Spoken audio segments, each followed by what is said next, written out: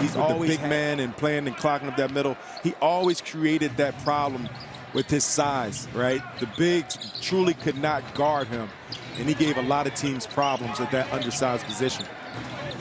Pascal wants some room, blows by JV and gets right to the bucket.